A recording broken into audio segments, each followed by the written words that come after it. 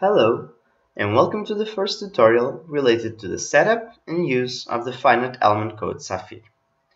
In this video, I'll explain you how to set up GiD, a general-purpose mesh generator, to create models for SAFIR.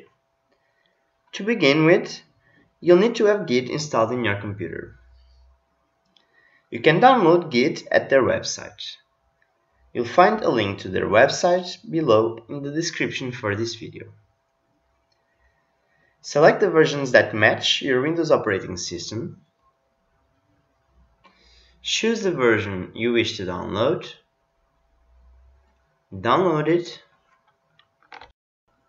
and install it.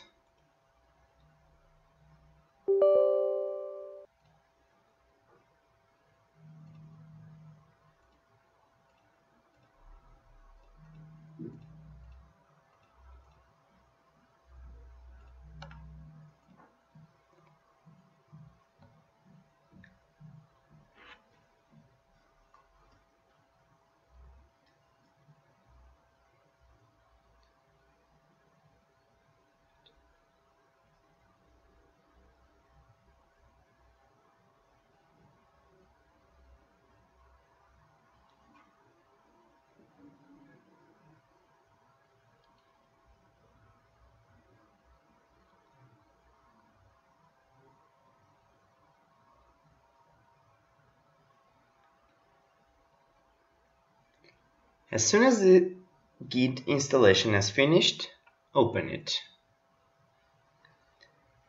You'll be asked for a password for your version of GiD.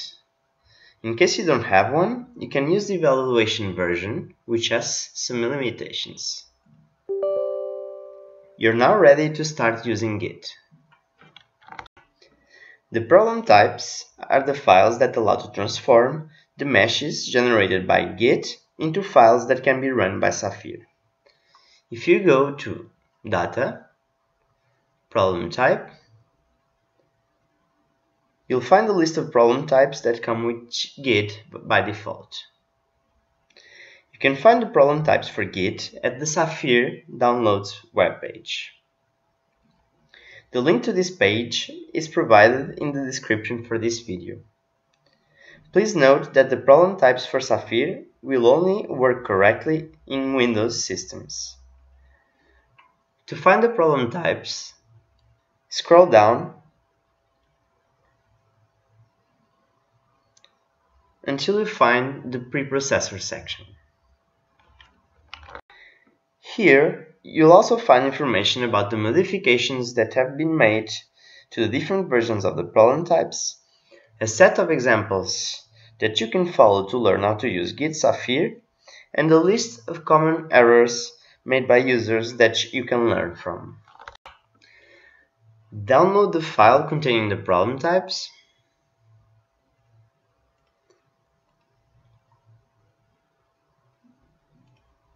Unzip it. Cut it and search for the place on your computer where you've installed GiD.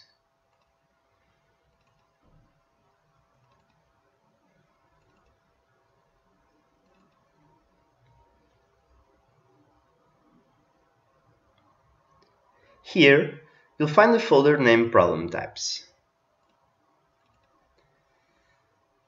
Place the SAFIR problem types inside this folder.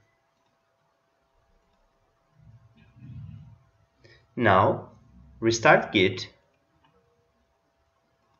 so that the SAFIR problem types can be loaded into the program.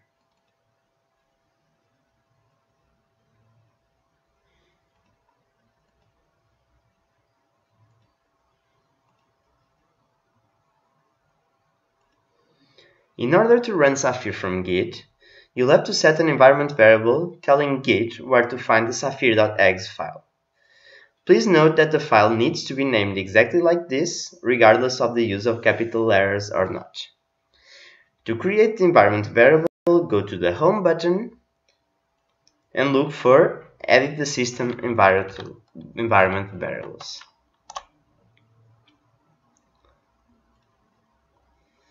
Click on New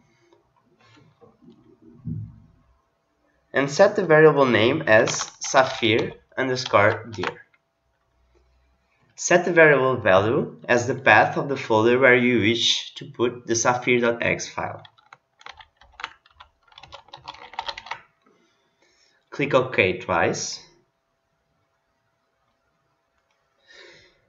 The environment variable is now set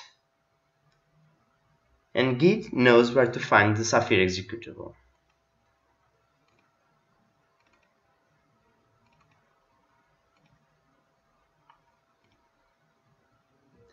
To open the problem types, open GiD, go to Data, Problem Type,